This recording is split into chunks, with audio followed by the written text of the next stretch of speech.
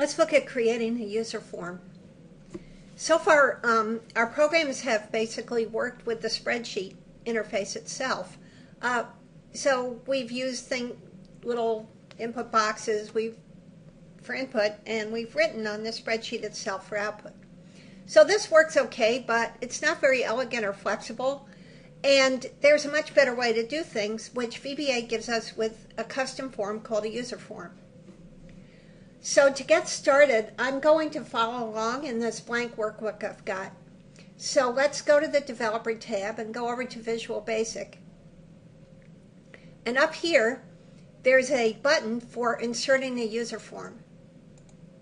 So when I click it, this is what shows up. And this is the code for the user form. This is the user form itself. And if I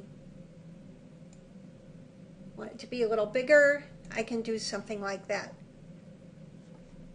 Okay, so I've got a user form going here, uh, but I have to write some code to make it show up. So what I'm going to do is come over here and go back to the code for the workbook. Now, I could create a button to have to push to make the user form show up, but I'd rather have it show up right away when the workbook opens. So what I'm going to use, I'll put my option explicit, and then I'm going to use the workbook open sub.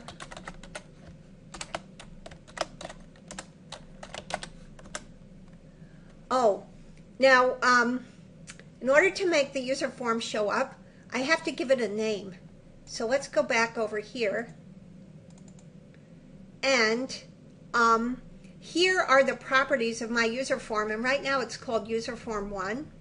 So I want to give it a more uh, meaningful name. So I'm going to find the name, and it's right at the, that property is right at the top here. So let's call it something like um, conditionals form. Okay. Push enter.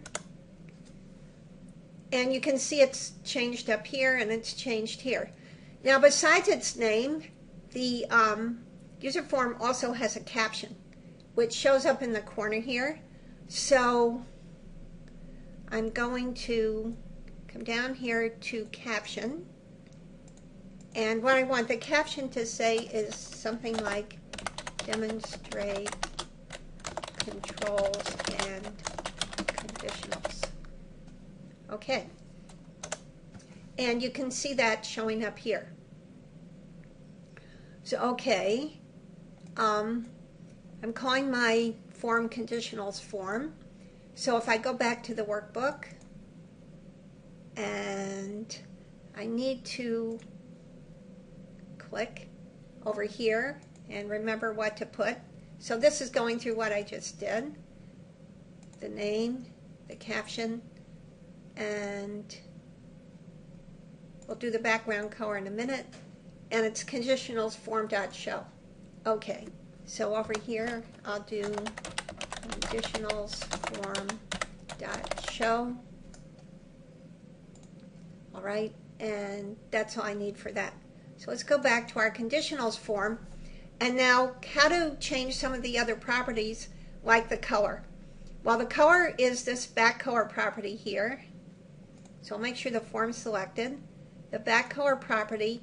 Um, these are the system colors. Those are the colors you get that are used in whatever theme you're using in Windows. So you can see the colors for things like the scroll bars, the active title bar, etc we want some more fun colors. So let's come over here and I can pick whatever color I want. So in the um, slides I used yellow, so let's go ahead and do that. I'll just click on yellow here and voila, there it is, all yellow. And I can change it whenever I want by coming back here. Uh, by the way, these properties can also be changed in the code, and we'll look at doing something like that later. All right, so here we are. And what I'm going to do is um, save this guy. So I'm going to save it as, let's say, uh, conditionals demo. and I'm going to save it on my desktop, I think. Save. Oh, and you know what? Let's, um, what I forgot to do is say I want a macro-enabled workbook. So, all right, now let's save it.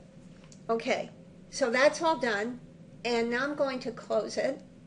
Close the code, close the workbook. I'll shut this down too. And now here's my workbook that I just created. And when I open it up and enable the macros, see the user form shows up right away. And that's what I wanted. Okay, let's get this back here and continue. So here's a picture of what I just did. All right. So that's what we've done so far. Now you should go open a workbook and try it for yourself. Then we'll go on to show you how to add controls.